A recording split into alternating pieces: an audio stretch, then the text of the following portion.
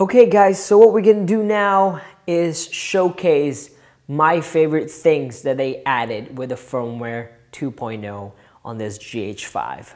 So let's go over the menu. Let's go ahead and, oh, by the way, here you go. I'll show you my, uh, my memory card real quick. I know I talked about it, but it's this memory card. It's the Delkin V90 memory card. Make sure you get something that will work with this camera with a new firmware. So let's stick that back in there. And uh, let's go ahead and reframe this, guys.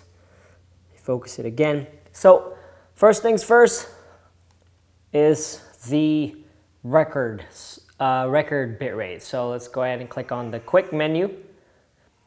Let's go ahead and go in this page right here. So before, it didn't have all of these options. So we'll go with C4K, sorry, 422 10-bit all intra.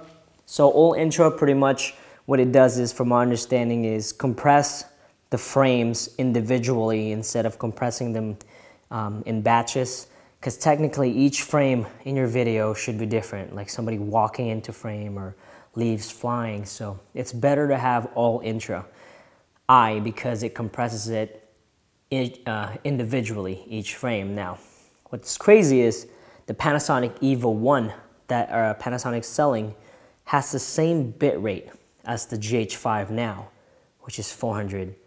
That's crazy. that, that Panasonic EVA1 is actually like $6,000, $7,000, but it has the same recording file as this baby right here, if I remember correctly. So we have C4K, which is full 4K at 4096 2160 but it also has the Ultra HD of 3, 3840 by 2160. Now the 60 frames per second and up, the high speed frame rates are still at 8-bit, which is, I mean, that's understandable, guys. If they were to put that 10-bit in here, 422, this camera would just break so much, I don't know, it would just kill Panasonic's sales on other cameras, so they will have to put limitations on this uh, camera somehow, right? But yeah, so here are all the options that comes with it. 422 Ultra HD, 30 frames per second. And that's a lot of options for such a small camera. It's supposed to be a hybrid, and I think it is the best hybrid so far. Oh, sorry. It is the best hybrid so far as far as pictures and video. So file formats, freaking amazing. So let's go ahead and go in the menus. The anamorphic 4.3 mode is also changed. There's a lot more options now for this. You can go 6K, 30 frames per second. But what you're gonna think about, which what you need to know about this is it's 420 at 200 megabits per second. And you can see that here. And it's long GOP, not all intra for the 60 frames per second.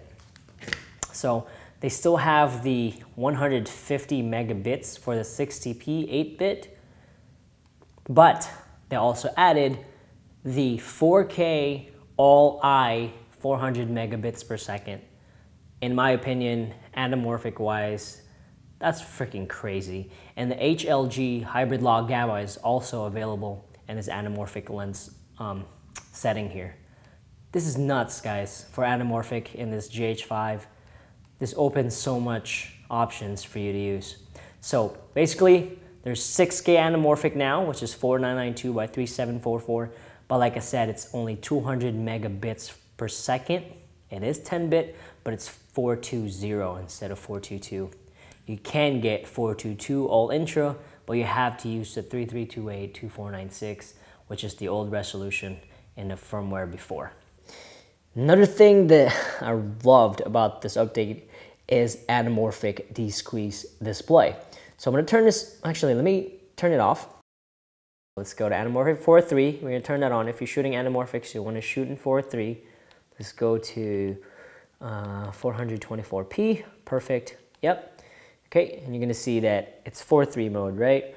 So we're gonna go back, we're gonna turn on, we're gonna turn on the anamorphic de-squeeze display, and there you go. It's properly de-squeezed. That just saved you money in having to buy a monitor that has a de-squeeze feature, kind of like uh, Small HD has. So that's amazing for anamorphic, guys. That's freaking crazy. So let's go ahead and go back to regular mode so we can show you other features. Okay, so let's go down. Um, they also have the HLG View Assist, which works similarly as the Vlog View Assist. Let me go ahead and show you that real quick. So we're gonna exit out. We're gonna go to our quick menu. We're gonna go to our color profile. And here's the new page for the color profile. We're gonna switch to HLG, which is hybrid log gamma. Click on that. And right now you're gonna see that uh, the uh, view assist is already on automatically. We can double check that by going here and there you go. The white version is the view assist for HLG and the vlog is grayed out now. And can you choose, you can choose between um, mode one and mode two in this one. So let's go, whoops, sorry. Go right there, mode two, converting 709, good exposure for main object and the first one is with sky. Now, kind of like how log works, this is just to help you view um, what you're shooting, but it's still gonna shoot at log gamma. There is a bug right now in this firmware that you're gonna have to enable the view assist sometimes because it turns off. So what I did was I did function three as vlog assist. You see the vlog L, switch that over and it's gonna turn on the view assist. There's a bug. So if you're shooting vlog and it says that the view assist is on, but you're looking at the back of your screen, it's still log, that means you have to turn the view assist back on. So you can either assign a function here to turn it on and off, so you're back to the Rec 709 view assist, because yeah, it's buggy right now. They'll probably fix that later on. That's not that bad. That's doable, that's workaroundable. So let's keep on going. Let's look here, see if they changed anything here. Um, it's crazy how much they change, which is kind of nice. Now, from my uh, understanding, the HLG mode only works in .mov and, and MP4 LPCM. So if you use AV-CHD and MP4, you're not gonna have all these options I'm showing you.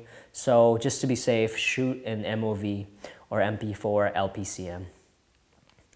Um, the, the autofocus stuff has been upgraded, but I don't have native Panasonic lenses, so I don't think that really affects me. I will try it just to see if it's any better, but I'll do that later on. So let's see here. I know they added one for um, for uh, stabilizer. Yep, right there. If you go to your menu to stabilizer, E, uh, IS lock video. It's for video. It's pretty sick, but it's a really cool feature and they added. And another thing that they added for anamorphic lens is anamorphic video image stabilizer. So you can do a 1.33 uh, crop, or not, I'm sorry, not 1.33 crop, 1.33 squeeze or a 2.0 squeeze image stabilization for your anamorphic lenses, which is really freaking cool. Like, I don't know what they're trying to do, but they beefed the heck out of this GH5. I mean, it's it's been a year since I first saw this GH5 in um, Cologne at the uh, Photokina. I mean, I knew they were gonna do all these other features, but I didn't know they were gonna beef up the anamorphic at all. So it's a pretty good bet that I went with this camera because it's pretty sweet right now.